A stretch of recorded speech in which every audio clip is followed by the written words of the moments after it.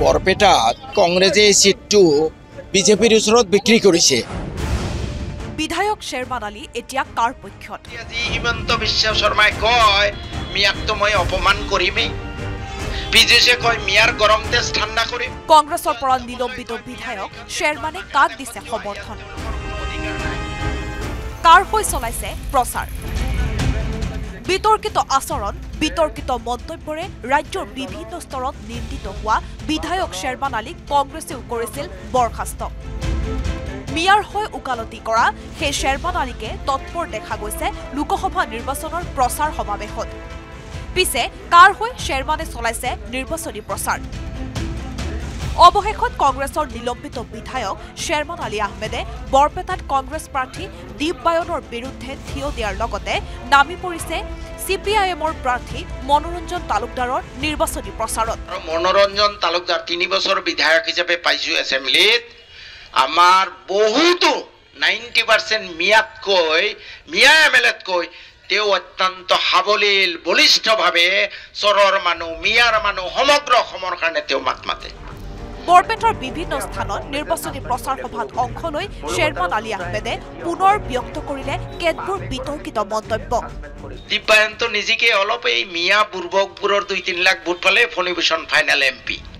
Sherman Ali আহমেদে ক'লে এ G পিৰ ফণীভূষণ চৌধুৰী ব্যক্তিগতভাৱে ভাল মানুহ বয়সীয়াল মানুহ মই সন্মানো কৰোঁ তেখেতক। পিছে ফণীভূষণ চৌধুৰীয়ে আপোনালোকৰ বাবে সদনত কি কৰিব? শুব খালি। খালি শুই থাকিব। ভাৰতৰ সংবিধান বাতিল কৰাৰ কাৰণে তেওঁ ভোট দিব। ভাৰতক হিন্দু ৰাষ্ট্ৰ কৰাৰ কাৰণে তেওঁ ভোট দিব। হয় নে নাই ভাই? গতিকে ফণীভূষণকতো ভোট দিব নোৱাৰি। ইপিনে কংগ্ৰেছৰ দীপ বায়নৰ শাৰীৰিক অৱয়ৱক লৈও অশোভনীয় মন্তব্য শ্বেৰমান আলী আহমেদৰ। দীপায়নক মই বাওনা বুলি কওঁ হায়াৰ ছেকেণ্ডাৰী। এই বাওনাটোক কোনে চিনি পায়?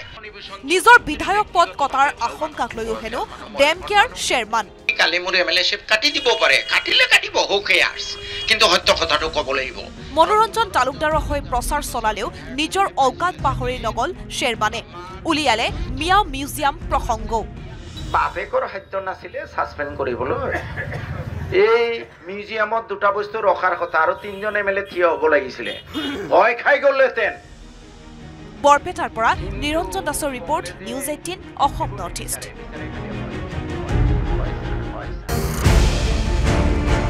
বৰপেটাত কংগ্ৰেছে এই ছিটটো বিজেপিৰ ওচৰত বিক্ৰী কৰিছে।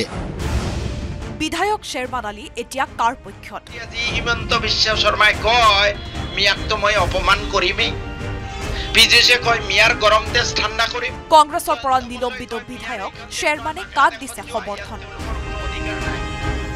কাৰ হৈ চলাইছে প্ৰচাৰ?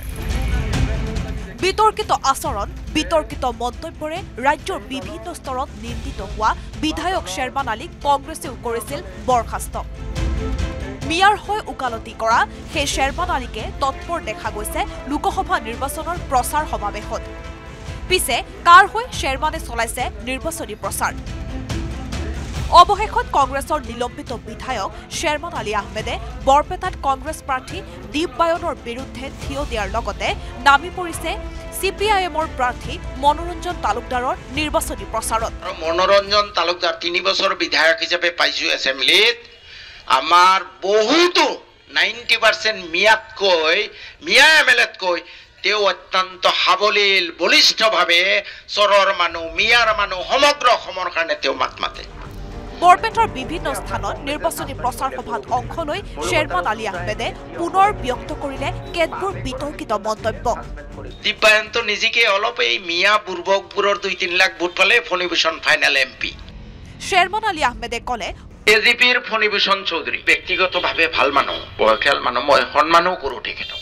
পিছে ফণীভূষণ চৌধুৰীয়ে আপোনালোকৰ বাবে সদনত কি কৰিব?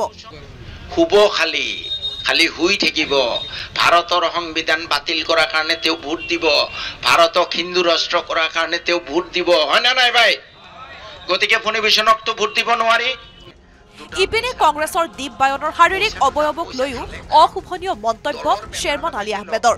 দীপায়নক মই বাওনা বুলি কওঁ হায়াৰ ছেকেণ্ডাৰী। এই বাওনাটোক কোনে চিনি পায়? নিজৰ বিধায়ক পদ কটাৰ আশংকাক লৈও হেনো ডেম কেয়াৰ শ্বেৰমান। কালি মোৰ এম এল এ শ্বিপ কাটি দিব পাৰে। কাটিলে কাটিব হু কেয়াৰ্ছ কিন্তু সত্য কথাটো ক'ব লাগিব। মনোৰঞ্জন তালুকদাৰৰ হৈ প্ৰচাৰ চলালেও নিজৰ অকাত পাহৰি নগল শ্বেৰবানে উলিয়ালে মিয়া মিউজিয়াম প্ৰসংগও বাপেকৰ সাধ্য নাছিলে ছাছপেণ্ড কৰিবলৈ। এই মিউজিয়ামত দুটা বস্তু ৰখাৰ কথা আৰু তিনিজন এম এল এ থিয় হ'ব লাগিছিলে। ভয় খাই গ'লহেঁতেন। বৰপেটাৰ পৰা নিৰঞ্জন দাসৰ report news eighteen Assam north east.